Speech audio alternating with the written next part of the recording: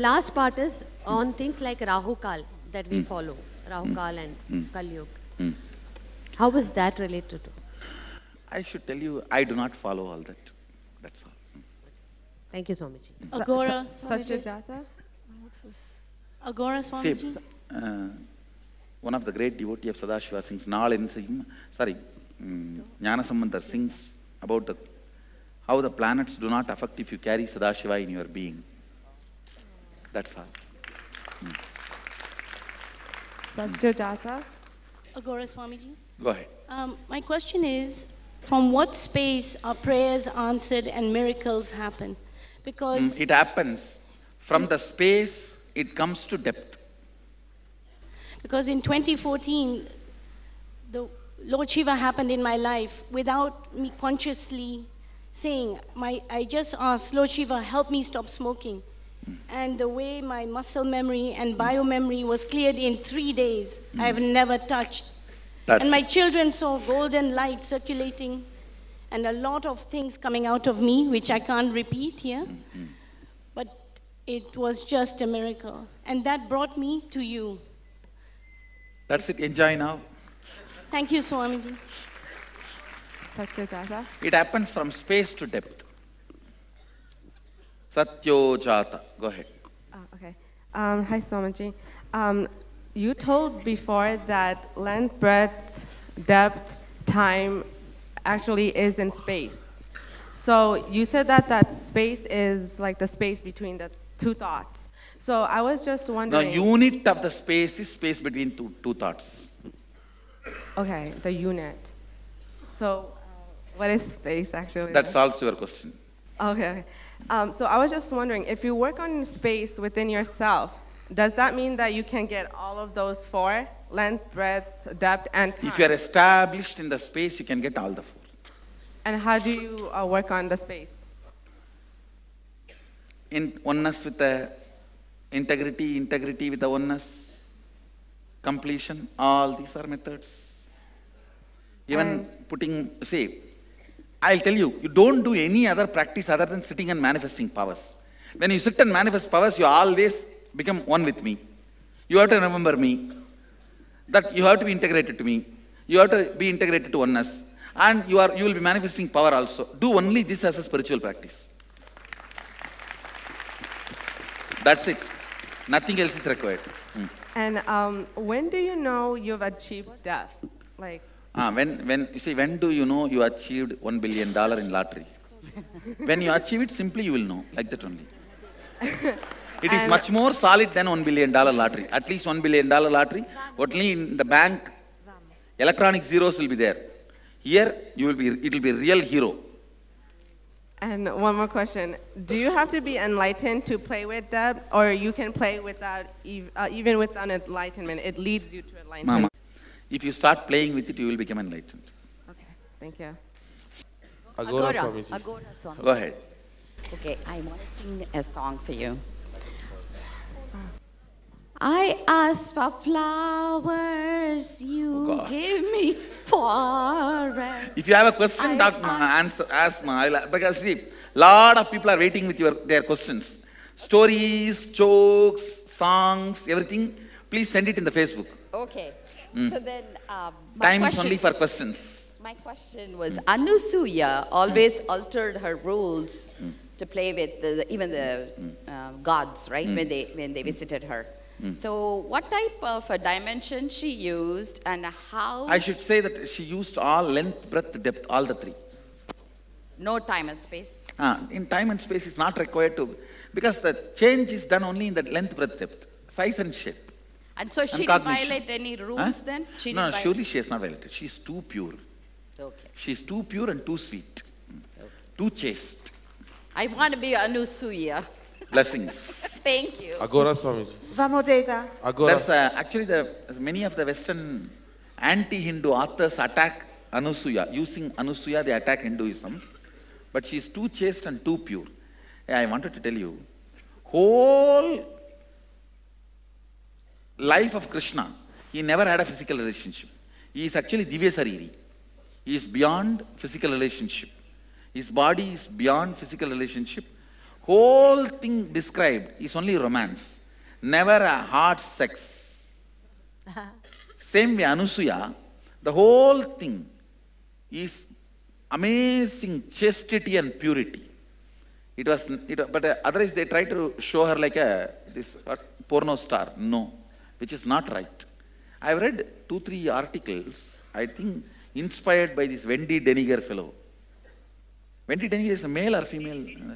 Uh, uh, uh, female. Uh, that Wendy, she wrote a book called Hinduism, mm, one book. I think her follower wrote an article in the Facebook accusing Anusuya and comparing Anusuya into porn stars, which was completely false and wrong. I know from there only this question about Anusuya comes. She's pure, most chaste, an amazing being. If you read her original story, you will understand all these modern day things are twisted, distorted versions. Hmm. Aghora Swamiji. See, these anti-Hindu authors can never understand somebody can exist by switching off their sexual circuit app. All these are like apps only. Now not required, switch off. This switched on. Like each circuit, yogis have a mastery over their body and they can switch off and switch on any app, any circuit. Aghora. And person who has never understood this can never. mm. They try to show that they are See, the, when they talk about same way Ramakrishna, one fellow write a, wrote a book called Kali's Child. I think this Kripalu. Ah, and that's what. mm. All the same gang, same gang. When I read that book,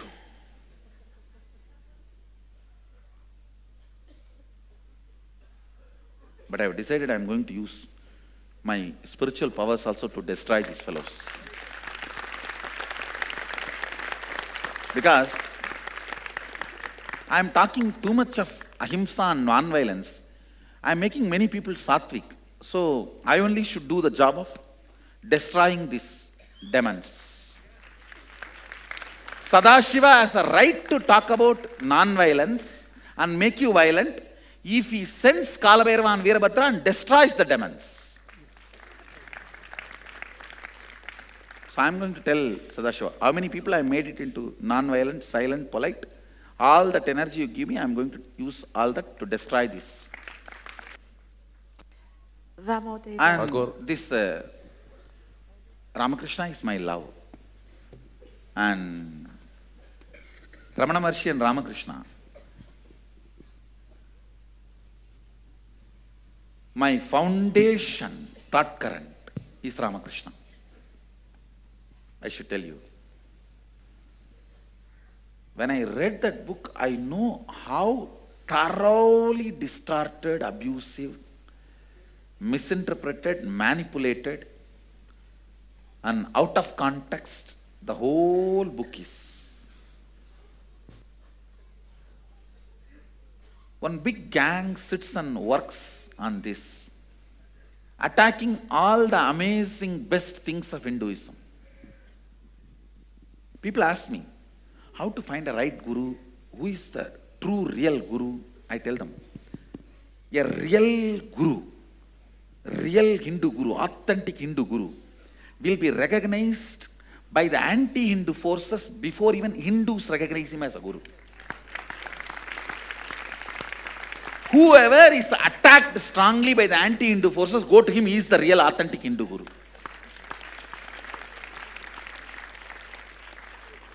I am telling you, this is the law. If somebody has a wide acceptance, he has already, he is theology light, not Hindu guru. He is a soft drink. Forget about it. He is not going to give you the real experience. Aghora is the first word I heard. Go ahead. Aghora. Yeah. Swamiji, Aghora. Uh, yeah. Mm-hmm. We have known about your, I have a few questions. Swamiji. Mm-hmm. We have known about your micromanagement and mm-hmm. the number of decisions you take and the decision fatigue. Uh, what I want No, I don't have decision fatigue. No, you don't have. That's what we have noted. What I would like to know is what is the definition and source of the magnitude of your thought process when in any project. For example, if I have to open a restaurant, mm. I will look at one or an NGO, mm. one NGO in one location with the capability of handling 25 people. But when you are able to think at 2,500 locations in each location with the capability of a lakh of people, where is the source for this kind of a magnitude? See, first thing, oneness gives you tremendous strength about you. Oneness means I am very clear about my purpose. And I am very clear I am going to engage with my purpose whether this body is existing or not existing. Whatever I am doing now, I will continue to do even after I stopped using this body. So I am that integrated to what I want to do. Is there When you come to that conclusion, all the small, small imaginary obstacles you have will lose power over you. Understand? That is what I tell my sannyasis. If they are struggling to come for morning yoga routine, I tell them, even after death, there also you have to come every day morning for a class. Be very clear. Bidadi or Kailasa, morning routine is same. So get ready. Earlier you get tuned, easier for you. Is length part of the magnitude, Swamiji? I should say, the first thing need to be destroyed is dilemma. See, one part of you is not convinced what you are going to do, you are going to be doing it forever. When that part is not convinced, it will not let you get head over, fall head over heels into anything. I know very clearly whether I am using this body, I am, resting this body in my samadhi, I am going to be doing what I am doing. So my whole being is convinced and integrated to what I am doing. That removes this confusion of operating from length or breadth or depth. The whole being operates. So I go on doing what I am doing. For example, today morning, we are uh, taking up a next level project. All the things described in Agama, we are going to do a detailed painting, like how ISKCON does. Yeah. ISKCON has a beautiful detailed painting. Like a, when the Krishna dance means even that small Yes. pearl in the Yes, yes. ears will be so detailed presented. Like that we are going to make around 10,000 paintings related to Agama and Shaivism. This project, I have spoken at least with the 20 of my Adinavasis from 2007. Nobody did it.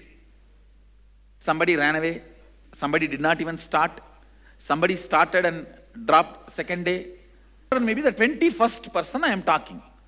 But with the same passion, Same intensity and to same the first person how I spoke, what all the books I brought and gave, what all the instruction I gave, with the same I will describe and sit and follow up. Even the magnitude of 10,000 paintings has not changed, Swamiji.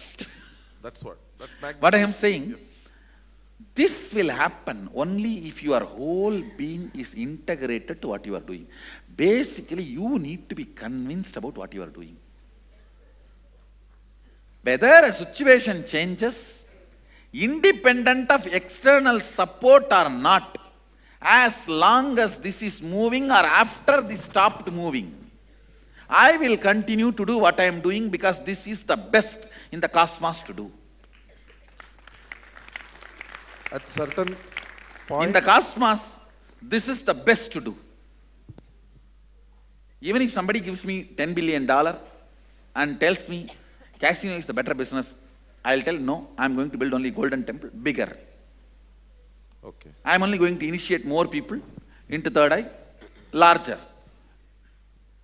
I'm only going to build larger Gurukul, maybe I'll make it free. So what I am going to do I am convinced about it whether the external resources are supporting or not. Whether the external help is making it happen or not. Same way, I, spo- I now gave an example of if the resources are added. I am giving you the example, even if the resources are denied, I will continue to do this. In this process, Swami, Very clear. Your integrity, how much you are convinced about your purpose. See, if you are convinced about your purpose, even if you are breathing, you will be moving towards that purpose. in Yes, now you ask your question. in this whole process, Hmm. your, your being is fully into it. Hmm. Uh, you have involved in the project. Uh, in the due course of hmm. implementation of the project, hmm. you are glaringly facing failure. Glaringly, when you are too sure, be it from the angle of length, breadth, or depth, how will this should this si- situation be handled? How many times I faced failure, you don't know. Even this toilet is not happening, is my failure only.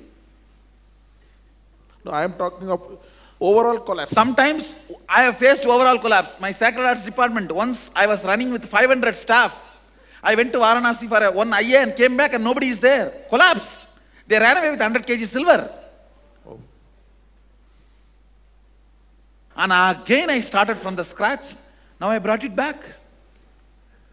So it is the same passion, same being. Same thing. Do same not allow frustration to frustrate overtake. you and frustrate frustration by not getting frustrated. That's it.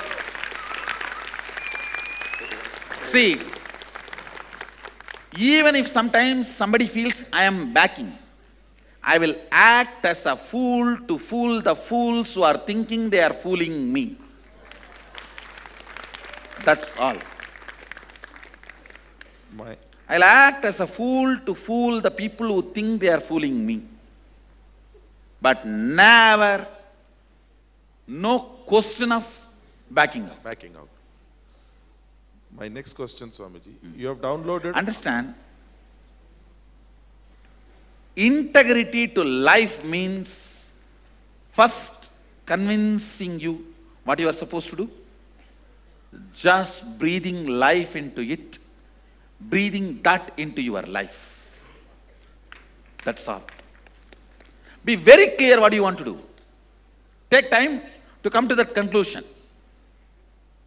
That is what is education. Once you come to the conclusion, breathe life into it, breathe that into your life. Inhale that into your life, exhale life into that. That's it. My next question. You can see, for example, if I am successful in 100 projects, I have started 10,000 projects. But you have not left any project in between, Swamiji. And I am, the more time I have, more I am going on and on and on and on. Never some praising and adulation can increase my speed, nor some stopping and blocking can reduce my speed. Somebody joins, come on. I- that's what I tell. If you join with you, if you are not joining without you, if you oppose in spite of you. Uh, my next question. See, I tell you, power is always your ability to convince you, nothing else. I am a village boy, sat in the same land 13 years before. It was all forest, no fence. The bear and the when I when this land was donated to me, the landowner said, the previous landowner, he said, Swamiji, I have dug four, 36 borewell, no water. So I am not able to live here. And I was, uh, he was running a snake venom park here. He was growing snakes, Yes. snake venom park. And I had 3,000 snakes. When we were shifting, 800 escaped. And I am not able to catch them. So this is the morning. Please come and settle down here. And the only building we had is one wall with one shed, no three walls, only one wall, Yes. and one cow, and the calf, and me. 800 snakes. And the whole Bangalore devotees, Bangalore we had, uh, I think, 30, 40 devotees. All 30 of them said, don't go. Who will come to see you? 30 kilometers away from Bangalore. I said, only if I go and sit, things will start moving. But I tell you one thing. When you said don't go, I understand your sympathy, concern. But when you made a statement, who will come to see you? You are wrong. I'll make city there. Today it's city here. I will sit and make city there.